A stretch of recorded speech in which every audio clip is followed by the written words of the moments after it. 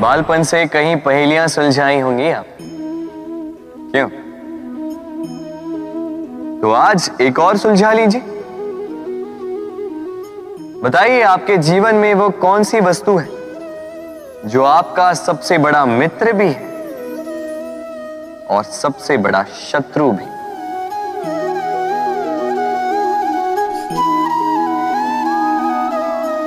समझदार को एक संकेत ही पर्याप्त है। उचित सोचा आपने? वो वस्तु है समय। क्यों? क्यों समय आपका सबसे बड़ा मित्र और समय ही आपका सबसे बड़ा शत्रु है? उत्तर है, समय का सम्मान।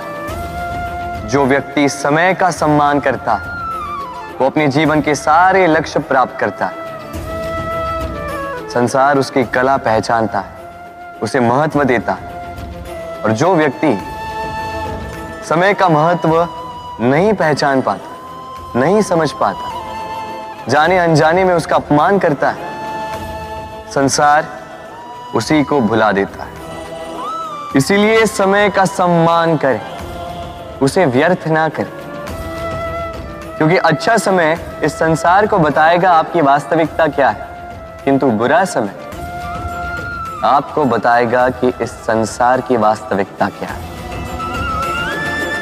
तो प्रेम से बोल। राधे राधे। कृष्ण, सोमवार से शनिवार रात नौ बजे, स्टार भारत और हॉटस्टार पर।